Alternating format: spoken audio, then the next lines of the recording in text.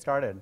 Um, so Randy, our uh, fourth panelist here, so hopefully he'll show up, and uh, we'll we'll we'll um, uh, have him uh, in the panel as whenever he shows up. Uh, but yeah, let's let's get started. Um, informally, we have already started a few minutes ago. Um, my name is Hitesh. Uh, I am an EIR at a, um, a relatively new venture partnership based out of San Francisco um, uh, Silicon Valley Growth Syndicate. Uh, we have invested in around 60 different um, um, startups over the last year and a half. Uh, my background, uh, and here is Randy. So, a round of applause for Randy. Thanks. Perfect. Um, so yeah, so um, my background before that, uh, I, um, um, uh, I, I started as a developer 20 years ago. And um, uh, over the um, last few years, um, went through this cycle a couple of times uh, myself to start a company and, and, and uh, uh being on the uh, early days of uh, being a founder. Um, and um, now, you know, as, as I'm a part of um, this fund, one of, the, one of my jobs is to create these theses around you know, what's working, what's not, and, and, and within the OpenStack um, ecosystem, uh, just wanted to see um, uh, you know, what has happened over the last three, four years. And um, uh, I will just run through um, a couple of slides real quick, and then um, we'll jump into uh, introduction and then questions, and then I want to leave um, enough room towards the end so that uh, all of you can ask questions too. Okay? Um, so, um, so yeah. So as as I was uh, preparing for this last night, I saw this uh, on my feed. Um, oh boy! and uh, Sean, this is Sean, and yeah. I was really, you know, hoping everybody will show up here, you know, 9 a.m. So thanks to all of you also to be it, here. It was the MetaCloud party last night, so. so Star Trek theme. So doing all right. Party, doing all right. Yeah. I just had four shots longer? of espresso. So. I, I wish I could claim something so mundane. You don't want to know why it was late. No problem. thanks. Thanks for for every uh, every one of you has showed up here. You know, 9 a.m. Thursday. Uh, great. Thank you very much. Um, now, um, just just wanted to you know quickly see uh, what the landscape looks like and, and this, this is um, some data from Q4 of last year. A um, lot, of, lot of startups, the, these are just the startups uh, you know, where, where uh, funding has gone in. Uh, this is from your slide um, uh, yesterday, Randy, um, from your uh, State of the Stack V4. 502 companies, more than 500 companies in the ecosystem. It's, it's certainly getting bigger. Yeah. And where we are now, if, you, if you see, um, we are headed to some really interesting times, as, as, as you mentioned. That's right. Uh, but what's, what's, uh, uh, what's really uh, interesting is what comes beyond that, that, that um, age where you know, there, there's stability and, and, and, and there are some real nice businesses still to be made, right? absolutely, yeah. I think the first generation of startups had a bunch of challenges, including mine. Um, and I think there's an, uh, you know, a lot of times people haven't seen it. I don't know if you've seen it before, but in certain technology venues, there tends to be first, second, third, fourth generations of startups actually doing stuff. So I think there is a good opening for the Gen 2, Gen 3 OpenStack uh, startups. Perfect, perfect. Yeah, so, so from here, um, if you see where, uh, who are the people who are uh, investing? So these are some of the investors who have um, done two or more deals and uh, as, as you can see, there, there is uh, a lot of money that has uh, gone in. And uh, now, what has happened uh, towards the end of this cycle, the, these are some of the companies um, uh, that, that, that, were acquired recently. Um, and, and, and we have, um, so, so when I was um, you know, looking at building this thesis, um, what better way to, to, to actually bring some of these uh, companies here and, and, and hear from them? You know, what worked for them, what are the patterns, you know, is there a, is there a formula or, or, or, or a set of things that, that you guys did right, right, and, and, and you um, uh, went here. Uh, so, so we have um, uh, MetaCloud, we have uh, cloud scaling, and, and, and, and Joe, I've heard some, some rumors there. So, so, so we have, I don't know if you will uh, uh, deny or, or, or uh, you know. No, I mean, no, we're, we're, we're out to, to, to build a business, and that's the, that's the path we're on. Perfect. Yeah, yeah. You, you are on that path, and you, you provide that unique perspective to this panel. yeah, why'd you invite me? I'm not acquired. no, it was uh, not just based on the. We invited you because you're a nice guy, Joe. Yeah. Um, so, uh, so yeah, so, so this is this is a fantastic panel. Um, and, and, and I'll go through some of uh, my questions, but towards the end, I want to leave enough time for all of you. You know, if, if you have questions, you can just line up here um, uh, uh, in front of this mic, and, and, and, we'll take those. So to, to just kick it off, if you can uh, maybe quickly go through your, um, your background, just a quick introduction. Maybe, Joe, you can start. Sure. Uh, yeah, my name is Joe Arnold, and I'm one of the, the co-founders of SwiftStack and we built a product around OpenStack Swift. My, you know, my background is an engineer, and so I come at it from, from that perspective. And uh, back in the day, building network management, infrastructure, uh, cloud management, and saw an opportunity uh, to, to, to, to, launch a startup, and it was something I always wanted to do. And you know, been, have all the bruises of going through that process, coming from the engineering side, product side, and having to learn all about uh, starting a business through this, through this journey. So looking forward to sharing it with, it, with y'all. I'm Randy Bias, the, uh, formerly the CEO of uh, Cloud Scaling. I'm still getting used to saying I'm at EMC. It's already been six months. It just rolls off the tongue, CEO of Cloud Scaling. Um, Cloud Scaling was one of the earliest proponents of OpenStack. We were part of the launch in summer of 2010. Um, a lot of the other startups you heard of, um, you know, had, didn't even weren't even aware of OpenStack at that time. And then we built some of the first clouds, built the first Swift cloud outside of um, outside of Rackspace, which actually Joe led while he was working um, as a cloud scaler. Everything I owe to this guy, man. Um, and uh, he uh, he did a kick-ass job, and, and, you know that was like six months after OpenStack was launched. So I mean, you know, it was rough, rough around the edges. Um, and uh, so I've been in this thing from the very beginning, and I've been on the OpenStack Foundation board of directors since it was formed. Uh, and then my personal history is predates OpenStack. I was one of the big cloud bloggers and pundits, and I personally have been a hands-on infrastructure engineer, network systems, storage, information security for 25 years now, um, for better or worse. Great. Uh, Sean Lynch, um, let's see, got my start in the 90s at uh, CitySearch, of all places, a small Idealab based company at the time, uh, pre startup or pre IPO. And um, got into infrastructure engineering there. They had a bunch of fancy turquoise SGI kit that I wanted to play with. So got, uh, you know, I thought like, wow, Cray-linking computers sounds fun. So that's how I got into to infrastructure engineering. Um, and then uh, CitySearch and, and Ticketmaster merged. Um, I ultimately moved to Ticketmaster, um, rebuilt that platform with a small team, um, and, and grew the systems engineering team, infrastructure engineering team there. Ultimately headed up uh, global operations as SVP there. And um, in 2008, we embarked on a private cloud pr- uh, project there. At the time, we didn't have OpenStack, so we built our own orchestration system. We were using, I think, the open source version of XenServer, and but built something that was able to support the third largest e-commerce engine in the world. You know, we were transacting about nine billion a year on on that platform. A uh, ton of tenants. You know, learned a tremendous amount. Um, so took that experience and and founded co-founded MetaCloud, um, a gentleman by the name of Steve Curry, who ran global storage operations at Yahoo.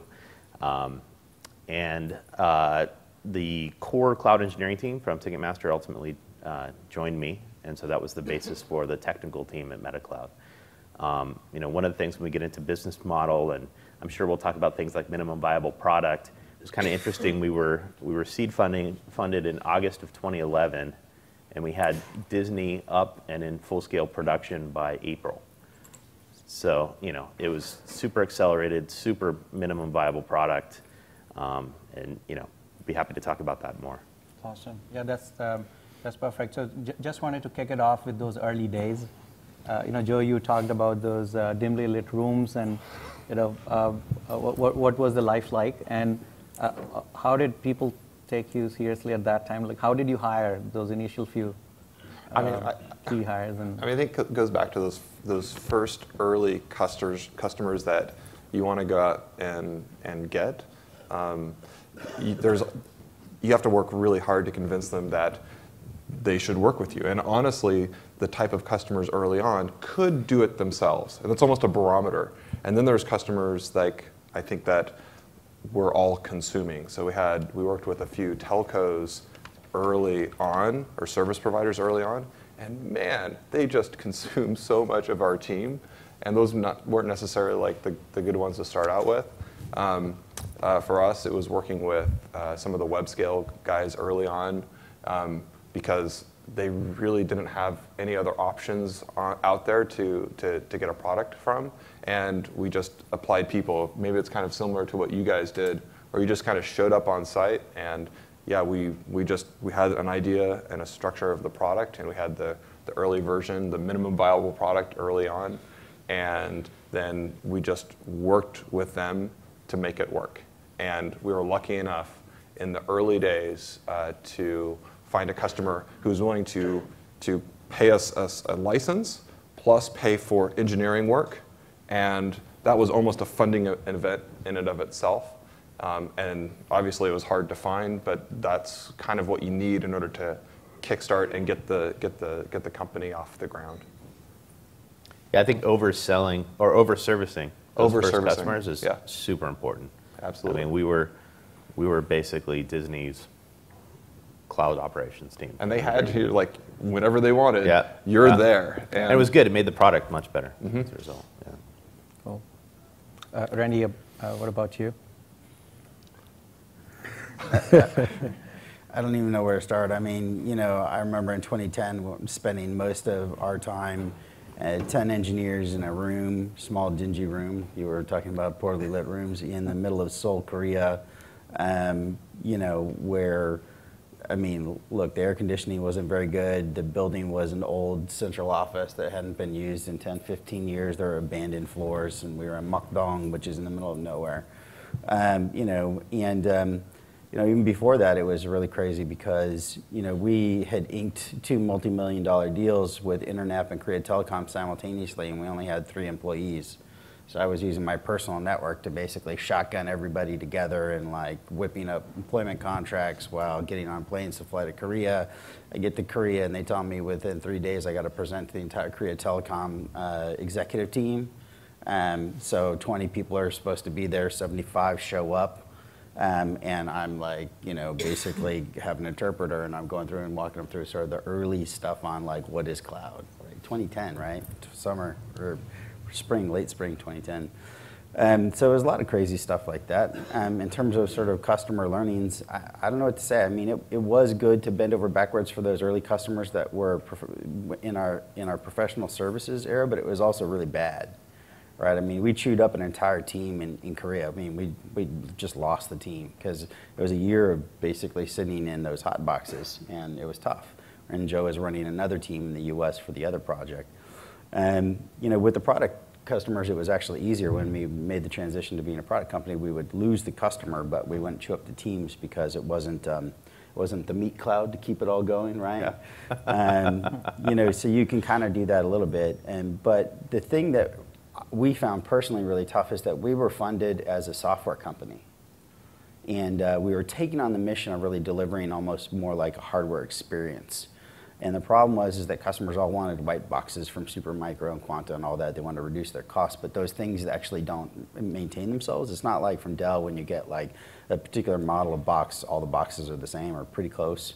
And there's a lot more variability in the white box supply chain. And so we took on kind of managing that. And so our kind of cost structure as a business was more like a hardware appliance business, even though we were funded like a software Yeah, company. You're bringing up a good point, and I, it, I hope you don't mind. I'm going to diverge no, a little ahead, bit from the ahead, actual go ahead. question because I think I think the most interesting thing with this panel and the space is the uh, the variety of business models. I think that's the really Right. interesting you know piece here. And I, I think if you look at the OpenStack space, you know, amongst this group and the others.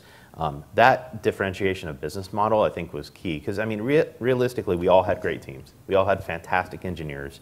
We all had great technology, and we were all using OpenStack. Um, so there wasn't that much differentiation there. I, I mean, really. I, I, so I think if you look at where the differentiation actually existed, it was delivering OpenStack, you know, in an appliance like Nebula, or delivering OpenStack as software. um, like maybe a Piston Cloud or deli- delivering OpenStack as software, you know, in a highly opinionated manner. With, you know, I, I know Randy said a lot about making your private cloud look and feel like the public cloud, right? So that's a very kind of opinionated um, Yeah. play. And I think you know you're obviously delivering software. So you know we we were delivering OpenStack as a service in a very SaaS-like way. And honestly, we didn't start with OpenStack. I mean, these guys got into the OpenStack space, you know, before we did. Um, we set out to build a IaaS as a service business. Um, we looked at Amazon, namely, you know, EC2. And we sort of broke it up into components and said, well, what are they doing well and what are they not doing well? They're selling cloud as a service, and that's really differentiated, and there's a lot of value there. But they're also selling access to x86 equipment, which isn't special at all, right? And so we thought, gosh, can you just take the cloud as a service piece and just deliver that anywhere? Behind the corporate firewall, co-located, on the public side, on the private side. Drop the public-private monikers and just deliver cloud as a service somewhere. And, um, and that's really where, so we actually started with CloudStack for like two weeks and, and realized that it was just an awful, awful, awful stack and, and moved to OpenStack pretty quickly. Um, but, but I think that's the interesting point. Like I, I'd love to talk about, you know, we, we had a, a reoccurring revenue stream. You have that kind of um, annuity effect, you know, with a SaaS-like business. And I, I think, I think eh, that's what amazed me most. I don't know what you guys think, but the differentiation in business models I thought was fascinating with the early guys. Because we were very different. We were. And I think we could take on a product oriented approach because we didn't try to try to do everything. We were focused on one project in the OpenStack ecosystem. We could take that independent of the rest of OpenStack. And so it was storage, and we could go and deliver just the storage stack. And for that, a product worked really well because we didn't have to deal with as many integrations. And then the integrations we did run up into, we, we could bolt on directly to our own product, which we could have a lot of control over. And, and so that's why I think it worked for us, um, because it was, it was a, um, it, it was more self-contained. Maybe not necessarily less complex, but more self-contained, and we could have more control Yeah, when we talk about fundraising, one thing to realize is fundraising is wildly different. You can be, you can all be OpenStack companies, but when Mm-hmm. you're delivering, you know, a capital-intensive business like an appliance or pure software or SaaS, the makeup of your investors are dramatically different. And the- Yeah, and the- what, what we like- as investors, you know, look at uh, when uh, your revenue mix from services or from product, uh, the, the kind of multiples that you will put on services is, is, is much lower, and, and the Right. kind of investors you Right. uh, you, you can attract and, and, and uh, will actually fit really well with what you are doing are different. Yep. So what, what did you do um, so early on, uh, and, and, and then those um, uh, initial to sort of mid-stage, uh, that, that initial round of funding with Jerry and, and, and others, and, and, and later on, what kind of things did you do? Um, how did you, what were the challenges like OpenStack? Uh, uh, Yeah. At that time, the perception was very different. Today, uh, it's a very different conversation. Uh, but what, what did you go through Well, there? ear- early on, we made a lot of mistakes, right? So uh, when we when we first went out to do do fundraising, I mean, it took a lot of guidance uh, from from folks to uh, that that we trusted who had gone through this experience lots of times to set us straight. When we first started, we were trying to raise way too much money, um, way too complex of a of a structure um, when we went out. So and we just couldn't get that done. Once we got maybe a little bit more realistic um, with our with our fundraising approach, then found uh, investors who had the same belief in where the market was going as we did. Um, we both, Sean and I both share an investor named Ryan Floyd. He's actually be in the next session here, so stick around and listen to him. Um, uh, but getting that investor on board who believed in us and the market and the team was great. We had a lot of things wrong in the beginning. And we had investors just flush us out because, oh, your pricing model is weird, or your delivery mechanism is, is not something I understand. And they're like, by the way, they were right. And we changed our model and we changed our pricing structure and the form factor of our product. Um, so it's not like they're wrong, but it was important to find that investor who It- I would just add to that, it's so us. critical to get the right investor at the right phase. Yes. So Ryan Floyd is probably the best early stage investor that I know of in the Valley. Like Hands down. Hands down. Like even if, stop. even if he doesn't invest in you, he's going to he will roll up his sleeves and, give- do a tremendous amount of work, but Mm-hmm. stay out of your way and give you autonomy.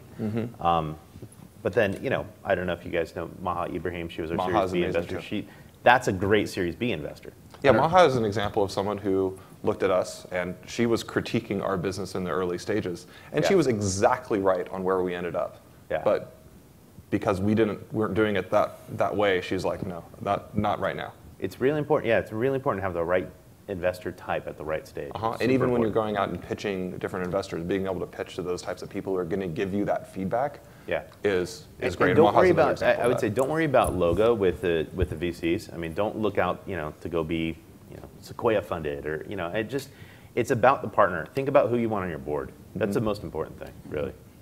So what, what was the point where uh, you know you, you, you knew you are ready to go to you know Ryan and and, and uh, you know, wh- what what was that transition point? we had we had some revenue, some customer traction, and and that was was enough of a proof point, and we had enough we had enough of the larger deals that were either in a POC phase, a paid POC phase, that showed some some credibility, and that's when we that's when Ryan stepped up. Perfect. Yeah, let's talk about uh, those that, that in, in, during that phase. You know, when you were growing, uh, at that point, you know how you were for for, for um, all of you. How were you competing with uh, you know where, where you are now? You know, these big guys. How were you uh, getting that business, and, and what kind of things were you doing um, during that, that that growth phase there? Well, I, I don't think we were competing with each other. I mean, at all. The market's so big. I mean, it was very. Our very, number one competition was DIY. All Yeah. the time. Yeah. I, think I lost Same here. half my deals to DIY. I think we encountered each other once that I know of. Um, Piston three times, Nebula no times. Uh, what about Cisco's and EMCs? And, What No- about none of none of them were in the market at the time. Yeah. I mean, we were we were the only guys in the market. It was basically us and VMware. Yeah, I mean, I didn't st- start to see Red Hat and Mirantis until last year, and then they showed pretty heavily. But up until then, it was just startups, and I saw them very rarely. Most of the deals I lost were, like I said, DIY. People were convinced that OpenStack was easy, and they thought that they would just download it and sprinkle it in their data center, and then poof, you know, they'd have a magical cloud. I got to tell you, I, I I saw that a million times. I know both I of you guys loved did too. I love it. I, loved it too because everyone thinks OpenStack is a product, and it, I can't believe people still think that. I mean, it's not a product. It's a series of raw bits to build a Well, product. part, part of it is mistakes on the part of the foundation and the community. In the early days, you'd have, you know, the website would say cloud operating system. Of course, it's not an operating system. And the evangelist would be out talking about just download it and get it up and running in your data center. It's like, no. Well, It- but, it's, but we, not a, we, it's not a product. It, we, we loved it, right? So because I mean, what we did um, is we wrote, we had a product, a commercial product, and then we also taught people how to roll it out and deploy it by hand. We did both. We didn't, we didn't, we were not a services company, but what we did was, look, if you want to roll it up and do it yourself, that's actually demonstrating our value to us. And by the way, if you are going to go run it by yourself, then super. You're going to be a contributor in that community, and we're going to get code from you because you're going to have Yeah. to in order to. I, I'd agree. I mean, it was, it was also really easy when you follow a DIY because you could show a model, right? You could Yeah. say, look, I know you tried DIY. All right. You know it takes two or three people to curate upstream, to look at what's coming. The to- best to- customers were the people who had done DIY, but right. the problem is, is that that takes 18 months, Yeah. which is a, a, you know, for a startup trying to get traction, you know, is a little bit of a death. too Now, you guys, I don't know about you, but you definitely started a ways a good point. after me, and I started early, and it was, it was effing hard to like close customers. You know, I had, I, I remember I, I lost Symantec and you know, they're a big, big OpenStack deployment now. And I told VJ at the time, the architect, I said, you're gonna run into all these problems. And I just laid them all out for him. He's like, ah, yeah, it'll be no problem. I'm like, you're gonna have to hire like 50 engineers to like get it to where you want it to be. And he said, ah, I It was- think it'll be that it- I I'm not finished, I'm not finished, I'm not finished. And then nine months later, I go back and he's like, Randy, you were right. You were right about everything. I had to do all this stuff. And I'm listening to him tell me how he rebuilt my product inside his business. I'm looking at him, I'm going, you're like an antivirus and security company. Why the hell are you building your own product to build a cloud? Like, like it, like it blows my mind still. Yeah, and I I would just say that, you know, how much of our time do we spend educating people about OpenStack, right? All of it. yeah, and, and so now the sales cycle, you know, it used to be probably a 10-month sales cycle for all of us, and I saw it compressed to six months, three months, two Yeah. months. Now it's, Yes. it's pretty immediate. Yes. Definitely. And A lot of that was just training around, But- this is why OpenStack. Uh, for- ju- for just me, real was- quick, was- um, uh, for um, uh, all of you, if you have questions, if you can start lining up here, and then we'll um, um, uh, start taking those questions also. Yeah, for, for me, for us, the, the sales cycle was shortened not by more education on OpenStack. It was, it was about more focus on use cases. And if one thing that I wish we had done sooner, it was figure out what those very, very specific use cases are and go after them sooner. So, okay, storage, uh, let's be a backup target. How about that? You go into these OpenStack environments and people are doing this POC, they're having to get their engineers, their developers, they're having to get so many people on board to start using the system that it just takes a long while for the adoption to occur. But it's much better to go to those guys and go, hey, you're in charge of this particular workflow. Why don't you connect the dots yourself? Um, it just, that's been a huge shortening for the sales cycle for us. Great. Um, Any questions from the audience? If not, I'll I'll, uh, go to the next one. Uh, So uh, fro- from from from that uh, you know stage of growth, uh, what sort of things, as as as uh, you know, uh, they say, it's never too early to uh, to start thinking about the end game. Um, uh, I know there's always you know this goal to build uh, an independent, big big uh, big enough think, business. You don't think about the end game. You can't spend time on it. You're building the business, like Joe said. I mean, if you if you if you fixate on the end game, like how many people have ever played baseball or a sport or something like this, right? Most of you. If you ever are in the midst of it and you start thinking about whether you're going to score the goal, what happens? You you lose it. right? You know, you, you can't think about that. You just don't. You're like, it's day to day. You're like, what am I going to do today that is going to move the business forward? Then the next day, what am I going to do today, today to move the business forward? You're not. I, I wouldn't I wouldn't plan out longer than, than like a week. Mm-hmm. Seriously. I think my board would, my board would have issue with that. No, but, I'm, I'm not uh, talking about the long range vision and the strategy of the business. I'm talking about the, the tactical stuff because, you know, one day, you know, the emergency is that customer. Next day, it's there's a person who's problematic on the engineering team. The next day, you know, there's something happening with the customer in production. So you, you can't. Yeah, but you got to have mi- so you have milestones for the Of course stage you that have you are in the in the milestones. funny Come on, right? Come no, on, no, no, Joe. no, Of no, course, no, no, of no. course you have milestones. But it's like, but that's, but you're not marching towards a, an, an exit event. So I, No, I kind of course. agree with, with, with both you guys. I think if you focus on running a business really well, by the time you're approached by a serious suitor um, with a serious opportunity, chances are you're going to have many millions of dollars in the bank. Uh, you're going to have really meaningful revenue, really meaningful margins, a really meaningful portfolio. Um, and if that's the point where you're at the table talking about a potential sell, uh, you know, you have all the leverage in the world, and, and you know you can walk away and have a sustainable business, or you can go raise another round really easily. Um, you know, but if you're on fumes, you know, you're, you're in trouble. So um, that's the difference between an exit at X versus an exit times X times 10 is, is, you know, having some cash in the bank. You know, we're, uh, you know, I think we had, I think we had about 15 million bucks in the bank um, and meaningful revenues and a relatively small team with a relatively low burn rate um, when we started talking to Cisco. And so it was a good position to be in. That's great. Uh, so what what, um, uh, what were the things that drove you to EMC and Cisco um, at that point? Um, uh, you know what? Um, uh, why those were the uh, th- that was the right thing to do at that time? Eh, So I, I will kind of ag- agree a little bit with Joe in that you're, you always have to, you can never think about selling your company. You don't want to be there from a mindset point of view, but you always have to be willing to do it. Um, you have to realize why you're there. You're, you're, you're not there for any self-promotional, you know, I, I think a lot of founders get caught up in their own um, egos, but uh, you're there to maximize the return for your board and your investors, and that's why you're there. So anytime you're approached, you have to take it incredibly seriously. Um, we were approached by multiple large cap, uh, you know, companies at the same time, and I think um, from our point of view, you know, Cisco has a tremendous amount of vision. Um, I think if you look at what they're doing with Intercloud, the Intercloud Alliance, you know, their OpenStack uh, support thus far, um, our vision was really well aligned. So I, I think it was a good fit for us. Great, perfect. Uh, how's um, so po- post uh, acquisition? Uh, how's life now? Uh, it's really great for me. I mean, I have no complaints. My team's seated, they're all happy. Um, they're working on new product, and I'm kind of out in a CTO role. Um, the way EMC is structured is you've got the core technologies division, which has all the old school stuff, and then you've got the emerging technologies division, which has all the new scale out software that's meant to disrupt the existing business.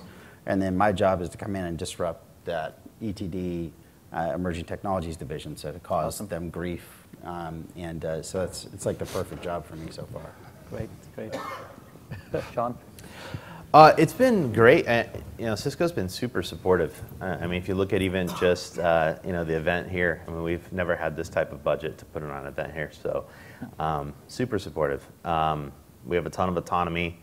Uh, I, I- you know, I will say that anytime you're acquired, if you think about it, you were acquired because you were out executing the company that bought you, most likely, and so as a small team. So typically, you know, you were thinking one way, you were executing one way, and you're likely going to be buy, purchased by someone who is thinking differently or executing differently. So um, by definition, that means when you get inside, you're going against the grain a little bit, right? And you have to kind of realize you, you and your team are going to be a catalyst for change. Um, that's what you were purchased to do. So, um, you know, that, that's not an easy job. I mean, that takes a, a lot of endurance. And I'm sure you're experiencing that too at EMC. I mean, it's just. I don't know. They really want the change. it hasn't Yeah. been too bad. Yeah. No, they want it, they want it at Cisco too, but it's, it, it's, it's work. You have to Do roll they your really sleeves. want it, Sean? They do. Yeah, absolutely. I mean, Okay. look, I, I- look at uh, Lew Tucker. I mean, how, how invested is Lew in, in the business in, in OpenStack? Lew's awesome. Don't. There are other parts of Cisco though. Yeah. well, we haven't encountered the other parts yet. Good. Uh, we can we can start with the questions. Uh, go ahead. Uh, So my question is on the ing- uh, seed funding. Uh, Your opinion on getting the seed funding f- from a traditional VC versus going to firms like VMware and uh, Brocade or Cisco to get the funding? Uh, What's your opinion, uh, disadvantage, advantages, if I have options? I don't like. If I would say one thing, I would say try to avoid seed funding if you can. I mean, the thing that I learned the hard way is that customers are king. If you have customers, even if it's a small amount and a little bit of traction, like they'll extrapolate the value of that for you. Um, and you know, as far as the strategic investors go, it's different money than VCs. It's very different money. The way they think about the world is different.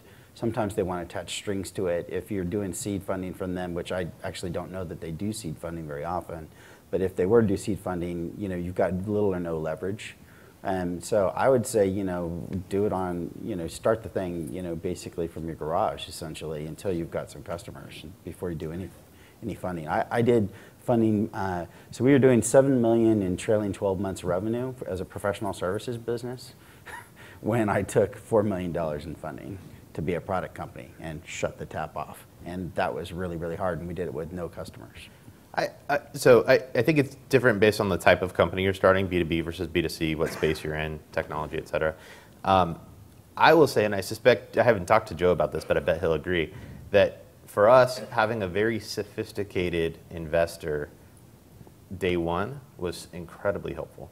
I mean, it was someone that, you know, again, I can't say enough good things about Ryan, but having him in day one was, was super helpful. And it, also, you know, if he seeds invest, they're gonna they're gonna do your A round, right? So Yeah. I mean that's sort of a known, and so they're with you. There's, they have some skin in the game, and that's super important. And the other thing about if you get strategic investor, just understand what your what your that that company and they have a an agenda that they're trying to pursue, and they want information about different markets. And if that's in a space that you're in, they're going to under, they're going to have access to the financials and hey, is this a hot category or not hot hot category? And so they're not necessarily they're doing it for other reasons than just a financial return. So just make sure you consider that.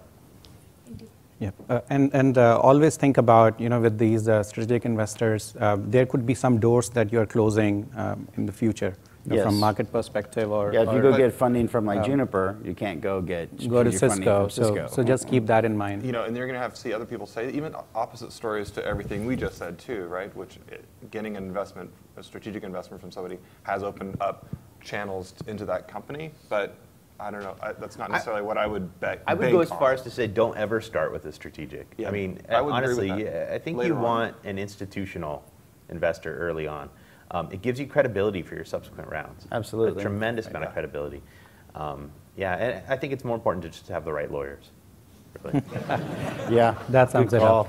call. Um, Yeah, go ahead. Thank you. This has been uh, extremely invaluable. So my question is on MVP, the minimum viable product. What should we actually have as an MVP before we either go to a customer or uh, go for funding? Because it's kind of a chicken and egg approach. Normally, I've seen that you start building something and you go to a customer, customer, I want A, B, and C more. Then you go back, and by then you have so many competitors. So should we just go with an idea? Is that better, or should There- we start building a product? there's an idea and then there's like something in between an idea and an MVP. Like, you know, some people I know, like they consider the MVP to be a slide deck that explains how the product will work. And they'll go out and they'll run that by dozens and hundreds of customers first, incorporate the feedback you're talking about until they actually have something that's material. And, and they may not write any code then, they'll try to go get that funded. That's legitimate. But I can guarantee you that whatever idea that you have for your business, by the time you get done, um, you'll be doing something else. Like I, you almost never see like how many people know where Twitter came from? Twitter came out of a podcasting company called Odeo, which died because iTunes started delivering podcasts, and these guys had this little app that they used to coordinate lunch in San Francisco. That's where Twitter came from. I mean, that's just the norm in You're gonna startup pivot. land. You're You're gonna going to pivot. move left Change. and right and zig and zag. Did you guys pivot? We pivoted No, not, dramatically. re- not really. No. I mean, we started out with a, a, a product concept, and we, yeah, uh, it wasn't, the first version wasn't very sophisticated, but it was, it What if you look at it from the point of view that you were Cloudscaling version 2.0 when you basically figured out that Randy had his head up his arse and wouldn't like focus on Swift and, and peeled out? Why did it take until oh? 2.0? Look, but we, but we had, we had, we had, when we, when we first were talking to customers, we had something that at least got Swift up and running. That was like our minimum product that we could show customers. And then we just iterated on, on that from there. But I, you know, just as a, as a rule, just earlier is better. Don't hole up for six months trying to build something. It would be kind of the general I, recommendation. I would agree, and don't keep your day job while you're working on your startup. No, don't. It's an awful idea. I've seen so many people do that where they're working part time on their day job while they're trying to get their startup off the ground. You'll never be successful. Uh-huh. You need the you need the gun to your head of that being your only job to, to, to make it successful. Yeah, I'm going to temper that a little bit. I think that's generally true, but I, I, you know, what I did in the first go round, the startup before Cloudscaling, is I was doing consulting, and I had set up the consulting structure in such a way that it was more like half time, but I was able to put the, the bacon on table. So that way, um, you know, I would, um, I'd have like three full days per week plus the weekend to actually work on the startup stuff. So you can, you can do other things if you need to, if you really have to bootstrap it, but you can't be working a full time regular job for sure, because that's just none of those take. Nobody here works 40 hours a week, right? So I'd say raise enough before your MVP to at least focus on your startup 100%. That's just my So, o- one quick question. Um, uh, I I know that we'll go into what sort of opportunities exist next for OpenStack in our next panel, uh, but just wanted to ask you guys if you were starting today, like your, uh, you know, that uh, with with your jobs that you have now, you know, that that other thing.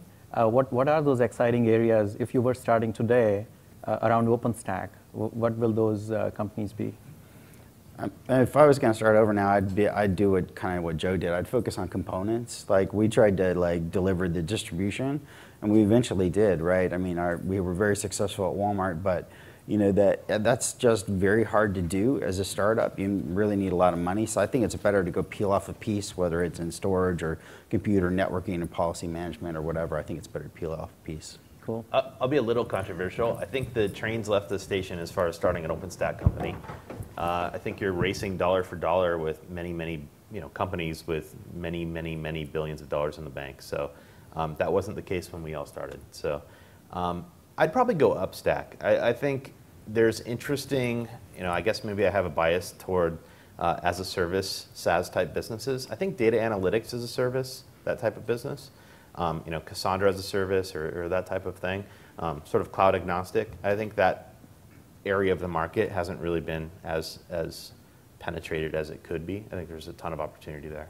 I'd plant myself in a vertical, and I would take whatever industry that I knew really well, and I would see how I could deliver that with this, delivering whatever it is as, uh, as software on commodity equipment using OpenStack to, to power that. Um, that's that's that I, where I think you'd have to figure it out because I think just doing technology is very, very difficult right now because there's so many players out there that are trying to do it just from the pure component. Right, or- you're, you're, you're doing awesome uh, within biopharma, for example. yeah, biopharma. Like we're trying to take on Right. biopharma, media, entertainment right now, and that's that's working because we're putting a lot of energy and focus to it. Okay. Go ahead, please. Okay, just one quick. Uh, so everybody talk about this MVP. We need to versus- cut you. So I think uh, we are uh, out of time, unfortunately, but we'll, we'll uh, Okay. uh, I think we'll, we'll be here for some time. And uh, thank you very much, all of you. Uh, thanks for coming. Uh, this was awesome. Uh, uh, please, a round of applause for our panelists here. Thank you.